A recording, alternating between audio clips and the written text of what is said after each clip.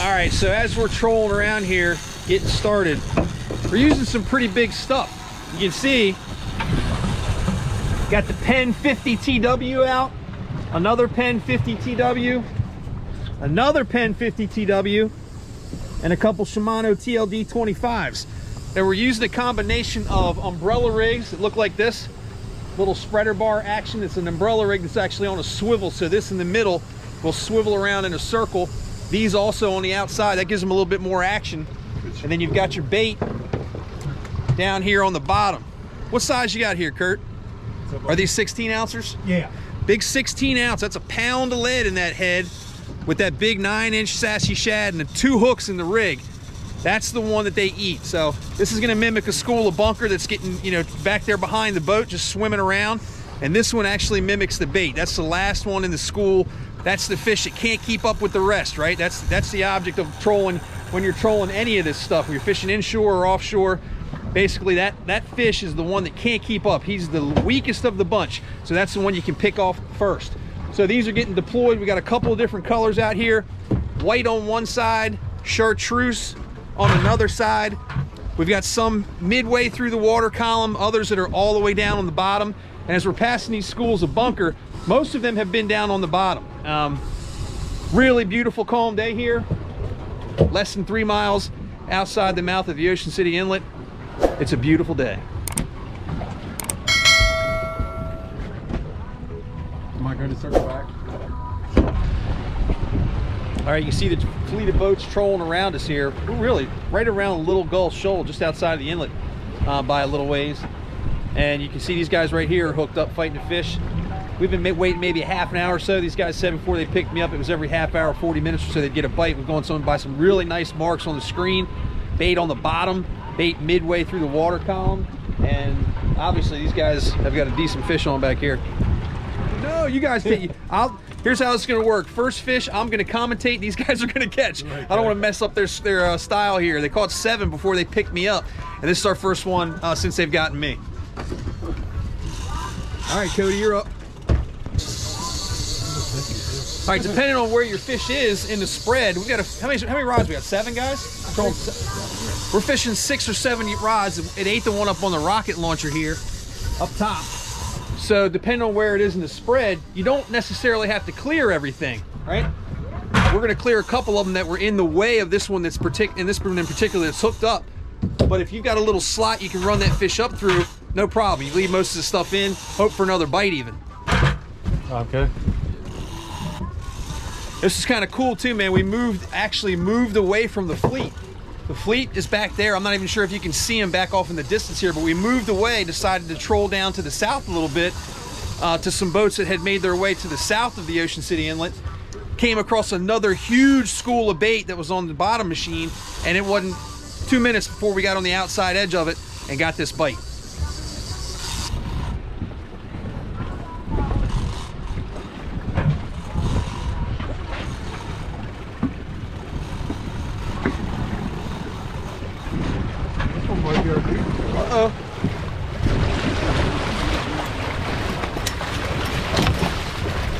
Yeah, Gert.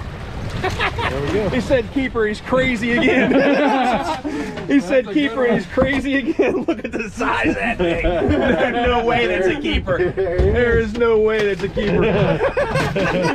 Not. Wish, it's wishful thinking, man. It's wishful thinking. So the reason we're laughing about this is because we're all hoping for a fish that is under 35 inches. How crazy is it to be thinking that we want to fish under 35 inches? But that's what Maryland regulations right now dictate. We're allowed to keep one fish per person from 28 inches minimum to less than 35 inches maximum. There's no way that fish is less than 35 inches. They've been catching 40 inches all morning long. Hold that one up, Blake. Look. Yeah, look at this thing.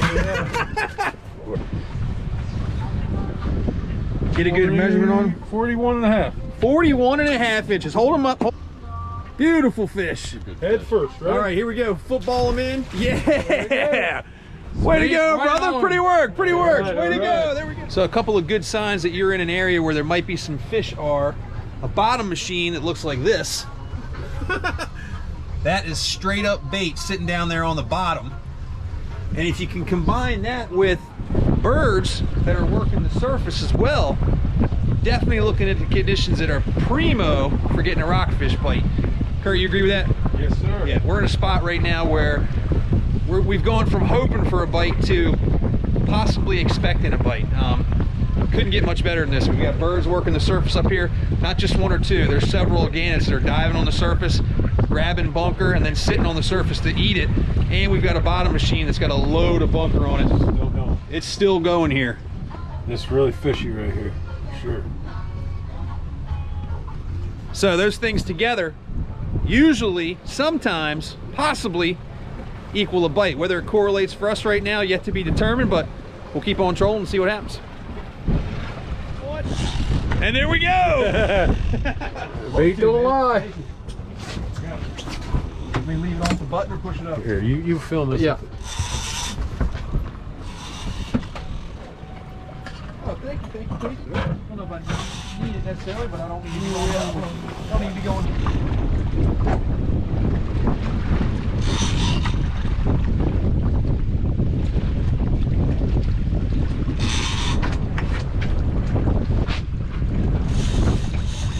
Cranking that. Good job, Curt. Yeah. This one here? Yeah, just tighten it up. Tighten it up. That's a big fish right there. Yeah, it is. Hold us right in there, buddy. Come, Scott. You got her. I'm just gonna reel it up with you. A little bit. Just snugging it up. A little more, Scott. A little more. Yep.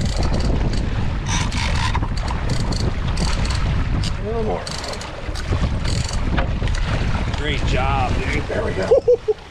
That's that a good one the there. Yeah, I, th I think we got another one on too. What a slob!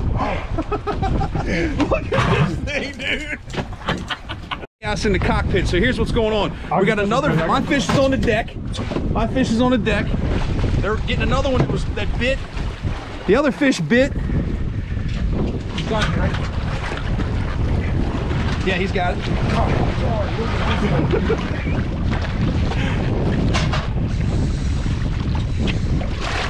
You got him? Okay. Holy crap! Got that one.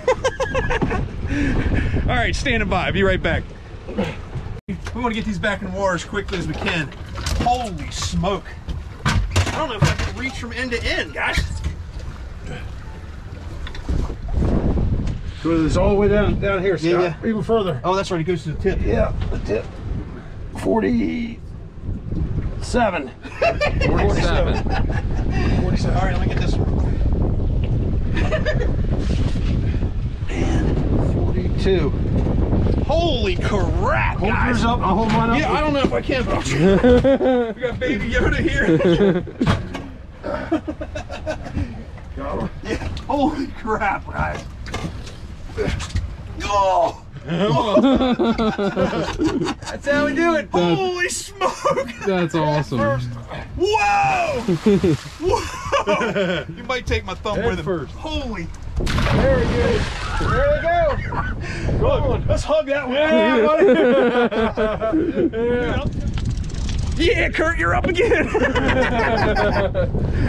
There we go. There we go, man. Here we go. Let me clean Have- the first mess up. Got a second one. we literally have not cleaned the first surface. mess. Look him on the surface. Yeah, yeah, yeah. See him up there. Look at that. He's Oh, way back there, guys. there. You can see him. He's back there spinning. A lot of times what they'll do is they'll grab that jig, they'll grab that bucktail, they'll grab that mojo, and then they'll swim up to the surface. Sometimes it's by their own weight. They'll start to spin, and because we're still trolling forward, they'll work their way up toward the top. That's what this fish is doing. Man, pretty work.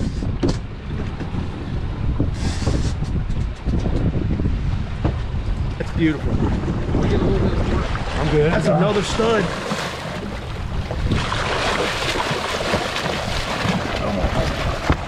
With the net? I got him. Got him.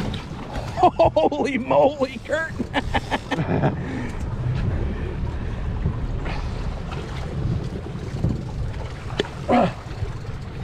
and we're right back on it, man. A little bit of a lull when we first got out here, but we found perfect conditions with birds diving. A really great bottom machine with a lot of bait on it. And there is the outcome. Beautiful 40 plus inch rockfish. And this one's going back too. Awesome stuff, man. High fives around. High High fives, fives around. Yeah, buddy. Ready? Good work.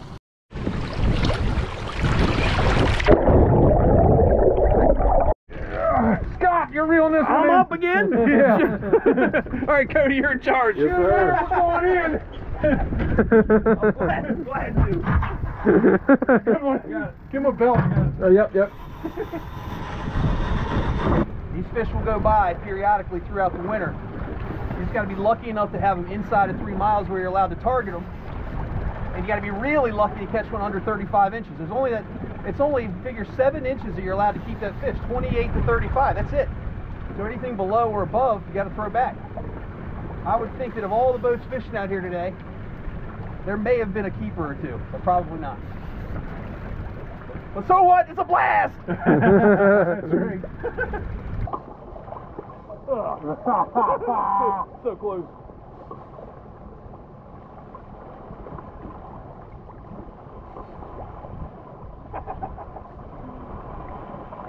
All right, he's all you.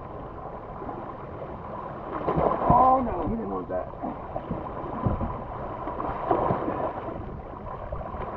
There we go. what is going on? You want to measure him? Yeah. We got another fish on behind you, Scott. Madness.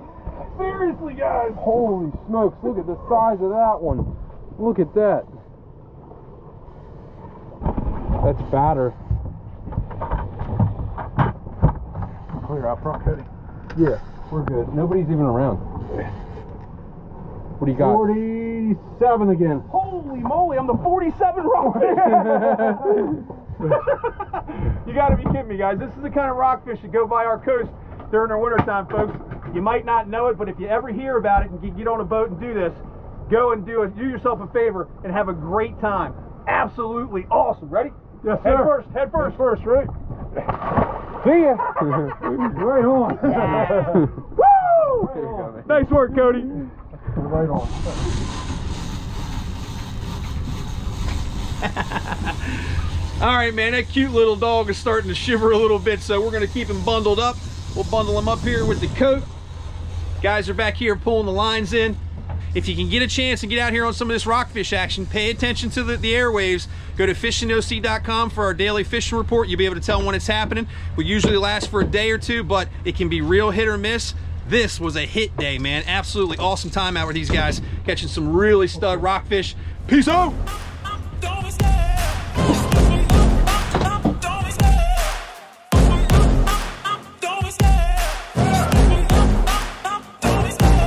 Love the chase and the hunt and I set the pace when I'm running. I always take what I want and I always give it 100 Don't need a bank, no I'm funded. Play the game like it's nothing. I'm always thankful for something. Don't take for granted, stay humble. Now wake up